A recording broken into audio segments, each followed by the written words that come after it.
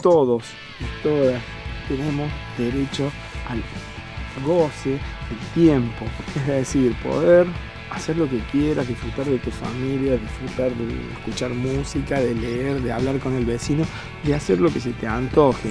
Yo, por ejemplo, a mi hijo lo puedo traer a trabajar conmigo y capaz que estamos sembrando y, dice, y yo puedo sembrar también y yo puedo hacer esto y cómo es y por qué. Entonces, el vivir cotidianamente y es tiempo que quizás si te vas a la ciudad no lo vas a tener nunca y es un tiempo que vale oro.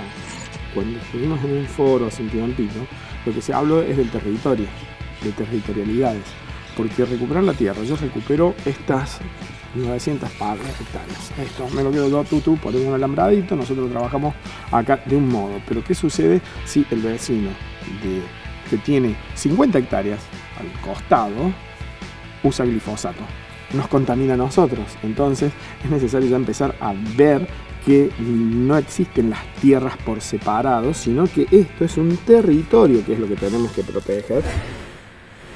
¿Cuál es el rol de las mujeres y cómo, cómo, qué es lo que, lo que vos ves, qué transformación se empieza a dar a partir de eso? Y son fundamentales. O sea, la, la organización es una organización, la otra vez una compañera decía, es una organización de mujeres donde hay algunos hombres, digamos. Y la verdad que en realidad la feminización de la pobreza es un rasgo general, ¿no? O sea, no es solo en Trabajadores Unidos por la Tierra, eh, en las barriadas de Córdoba. Yo durante muchísimos años milité acá en, las villas, en los barrios. Eh, las organizaciones son fundamentalmente habitadas, construidas, sostenidas y conducidas por mujeres. Lo que pasa es que después al momento de subir al escenario los que suben son hombres, ¿no? y, eso es parte de, esa cultura patriarcal que, que, de alguna manera estamos tratando de, de, de sandar.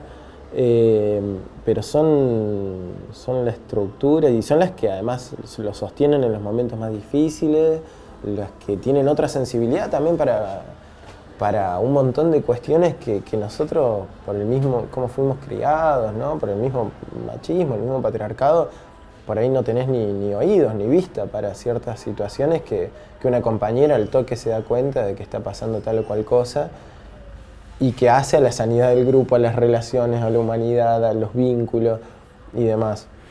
Emoción verla a las compañeras metiéndole pilas de un modo así que son tremendas, así te decís qué grandes las mujeres, cómo trabajan. Y me emociona y se me lagrimeo, yo sí, me emociono mucho con eso, me emociono mucho, porque muchas de esas mujeres son las ninguneadas, del pueblo, las ninguneadas de la zona, las ninguneadas de la historia argentina, eh, acá en este lugar en donde le estaban haciendo la comida muchas de esas mujeres ninguneadas a unos garcas que estaban ahí al lado seguramente jugando el pool, jugando el póker y pensando aberraciones. Hoy en día este lugar es de ellas.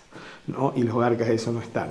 Todas las compañeras van a trabajar con sus niños, con sus niñas, que ya están viviendo eso desde otro lugar, entonces te suceden cosas, no sé, pibes que están así viendo la huerta y que te dicen, chicos, y que te dicen, yo cuando sea grande voy a trabajar en la huerta, ¿no? Entonces, eh, o, cosas por el estilo que, bueno, que también pone otro horizonte de, futuro posible, ¿no? Que no solamente la posibilidad es o trabajar en la comuna o trabajar explotado para algún algún sojero, sino que de, bueno, está la posibilidad de generar tu propio trabajo, de, tener esos niños que ya crecen en una experiencia social y organizativa y laboral distinta de sus padres, de sus madres, nada, es, otra cabeza. ¿Cuánto? El 80% de la organización es mujeres. son un montón de niños, no son dos de ellos, son muchos son Muchos. Claro. Entonces, eso de estar nosotros reunidas y reunidos y nuestros hijos en una sala común disfrutando. Es genial. Lo primero que dijeron es, tiene que haber una sala para niños y niñas para que al momento de las reuniones, de los trabajos, de lo que sea, estén los chicos y las chicas con la, jugando y demás. Entonces conseguimos no sé, donaciones de, algunos juguetes, las compañeras y compañeros se pusieron a hacer dibujos, murales, y es como el lugar de los niños, entonces los niños llegan derecho ahí a dibujar, a trabajar, mientras estamos en la asamblea. Y... este es el espacio que usamos más en lo cotidiano para nuestras reuniones, encuentros, talleres de formación. Acá está la, la, la salita de juegos que empezamos a preparar. Ahora Se ve todo bastante vacío porque mm, los pocos muebles que tenemos, que son algunos bancos y mesas eh, que hizo un compañero y que nos pasó también una cooperativa de carpintería de Córdoba, em, los vamos como llevando de un espacio al otro según qué vamos a usar. Y la idea un poco de este espacio es que funcione como un centro cultural también. Hay un grupo de compañeras que está armando la biblioteca Osvaldo Bayer, que contaba Gustavo hace un rato. Eh, hay proyectos de iniciar talleres culturales, espacios educativos. Ahí se está construyendo una biblioteca popular en ese mismo espacio. Eh, y, bueno, son los lugares donde vamos guardando distintas cosas y, tiene un montón de vida, ¿no? Hoy por hoy ya hay compañeros y compañeras trabajando toda la cuestión cultural. Eh, no sé, nos donaron un piano, todavía no tenemos cómo llevarlo de acá para allá el piano, pero ya estará el piano eh, allá en algún momento. Entonces, bueno, a poquito se va armando como un espacio para toda la comunidad, no solo para trabajadores unidos por la tierra, con la idea de que sea habitado y que se llene de vida y de otra energía ¿no? respecto de lo que era. Es un orgullo que acá vaya a existir, que ya la biblioteca Osvaldo Bayer, Biblioteca Popular Osvaldo Bayer en este lugar, creo que es el mejor homenaje que le podemos hacer al viejo, al querido viejo que tanto nos enseñó. Eh, que haya una sala de juegos en donde hay un lugar, donde hay una reunión, de una comunidad de gente trabajando en pos de la calidad de vida y que los hijos estén jugando, es lo más. ¿no? Y nosotros a futuro seguramente vamos a tener medios propios, radios, etcétera, etcétera. Vamos a Sí, nuestra voz. La voz también es un arma, es una canción. Elegimos este espacio, una porque está al lado y otra porque utilizamos el hogar. Siempre hay algún compañero o compañera que viene un ratín antes. Igual te digo que esto hacemos una ronda re grande y que la ronda ya nos está quedando chica. El espacio nos está quedando chico, la ronda... Para tener una idea, cuando la primer condena a Menéndez, eh, que le dan domiciliaria, la domiciliaria la cumple ahí. Digo, eh, ese es el tipo de, energía que había, ¿no? y, transformar... Ese era su domicilio. Claro. Eh, que todos cuentan que ¿no? salí y se cuadraban todos, ¿no? estaba en una domiciliaria bastante cómoda. Eh, entonces transformar, nosotros siempre decimos de que ese espacio de muerte lo tenemos que transformar en un espacio de vida, ¿no? y es lo que estamos haciendo en, muchos planos, en muchos sentidos. ¿Y acá qué es la cocina? De ese lado.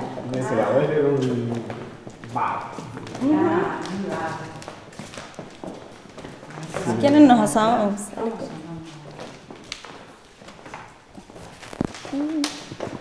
¿La cocina la tiene funcionando o todavía no? Eh, sí, funciona. Eh, hicimos la instalación del agua, de la luz. Acá no tenemos luz, pero hicimos toda la instalación y cuando lo usamos, lo usamos con generador. Todavía no pudimos hacer como la tirada del transformador acá porque el cable preensamblado es carísimo. Em, pero funciona. El 23 y 24 de marzo de este año tuvimos un encuentro de la semilla y la memoria con un montón de otras organizaciones de trabajadores rurales de la provincia eh, y fue acá, en este edificio. Así que recibimos como 300 compañeras y compañeros eh, distribuidos acá en las habitaciones, todo. Pasamos dos días de intenso trabajo, pero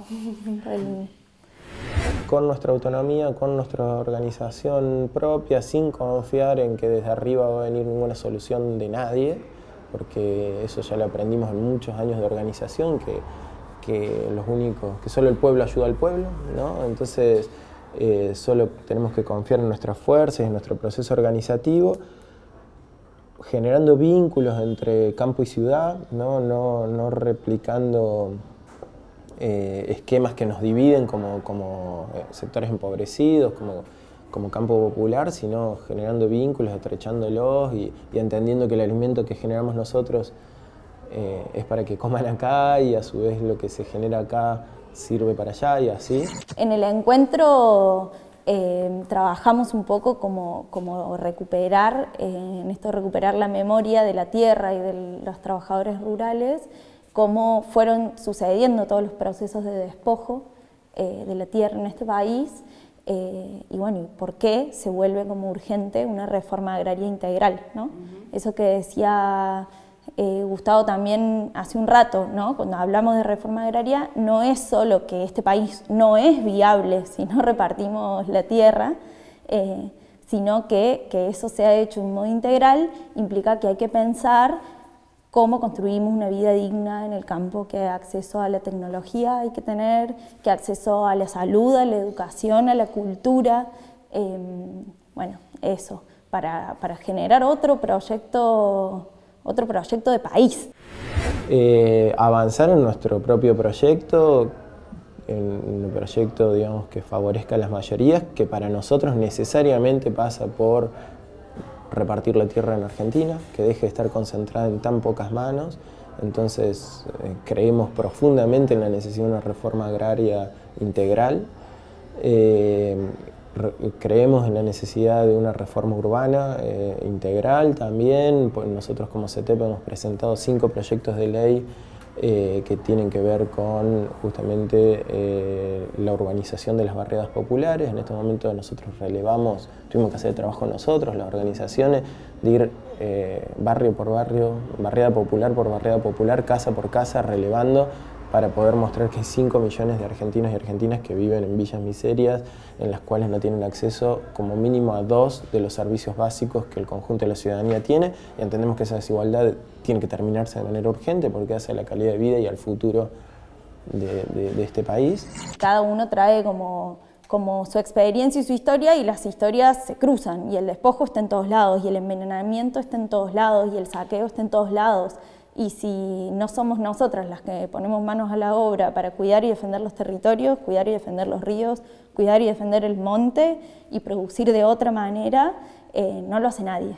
Entonces, en ese sentido estamos como bien conscientes desde que de lugares como este y de otros estamos construyendo desde abajo el futuro, no solamente para nosotras, sino para todos. O sea, estamos guardianando el territorio eh, de esta región, de esta provincia y del país, eh, y en ese guardianar estamos cuidando la vida de todos. Tenemos que generar sí o sí la posibilidad de que todos coman. Vivimos en un país que produce alimento para 400 millones, es absurdo que haya gente que no pueda comer todos los días y que coma bien y que coma sano.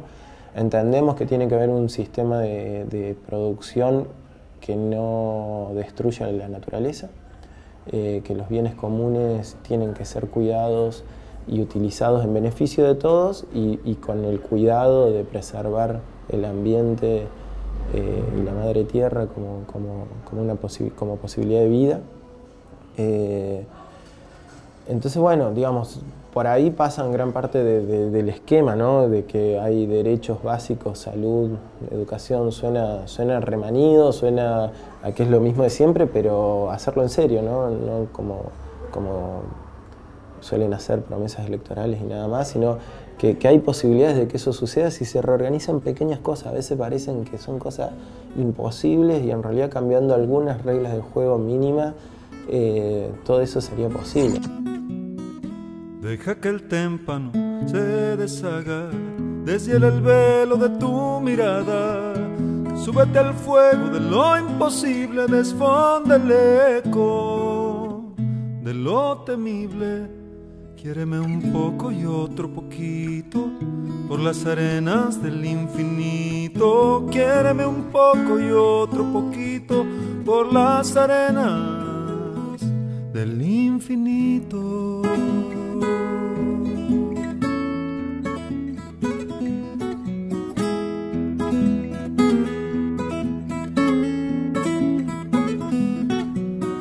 Recorre rumbo de lo que pises y desanuda tus cicatrices. Crece de abajo como un gajito si te hace falta.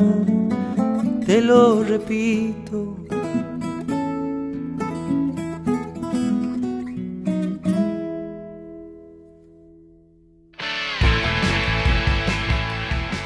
¿Cómo se acerca una familia a, a Unidos? Vienen, ponen mi cuerpo. Caen todos los lunes. A las 3 de la tarde cae alguien nuevo y dice, hola, ¿qué tal? ¿Cómo es esto? Vengo, vengo a ser parte, me contó mi prima, mi hermana, mi tía mi- y se suman. Lo ideal sería que hubiese nodos productivos a lo largo de todo el campo argentino que, si ha- hacemos la historia, la mal llamada campaña del desierto empezó con esto. ¿no? Despoblaron un lugar para que se lo queden cinco o seis familias de Buenos Aires, de algunos de los poderosos, despoblaron un lugar, agarraron todos los latifundios y ellos son los que se llevan la plata sin hacer productivo el campo, sin respetarlo, tomando la tierra como que fuese ¿Qué cosa? Un objeto a domesticar, a quitar, a saquear. Y no toman como que la tierra es lo que nos mantiene a nosotros. Preservar el conocimiento de la gente de campo que le han hecho creer que no saben nada.